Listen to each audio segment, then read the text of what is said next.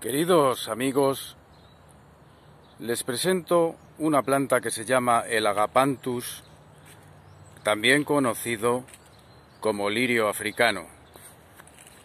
Esta planta está cultivada en Madrid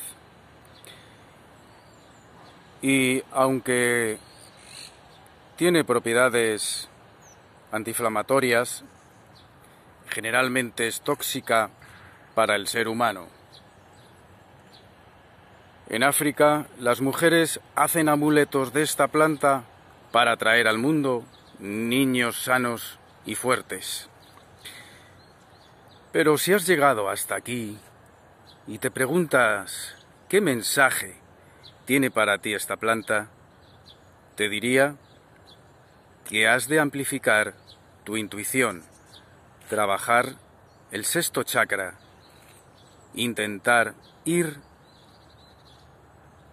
para ver lo que todavía no está escrito, inclusive ir más allá.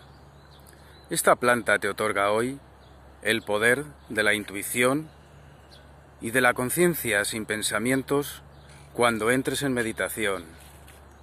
Es el mensaje que te da hoy el Agapanthus o lirio del Nilo. Muchas gracias, que estéis muy bien. Namaste. Adiós.